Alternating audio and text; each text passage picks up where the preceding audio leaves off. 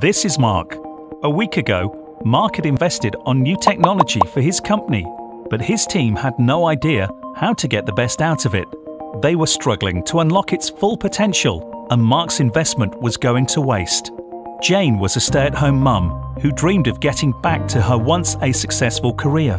However, between her day's work, she could hardly find time to keep up with all the advancements. She was falling behind. That's when they both met Peter. Peter told them about Trainocate and how their tailor made training can meet their unique needs.